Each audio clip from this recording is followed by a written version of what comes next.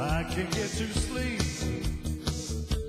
I think about the implications of diving in too deep and possibly the complications, especially at night.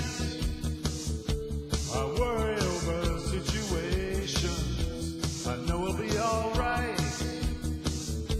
Perhaps it's just the imagination.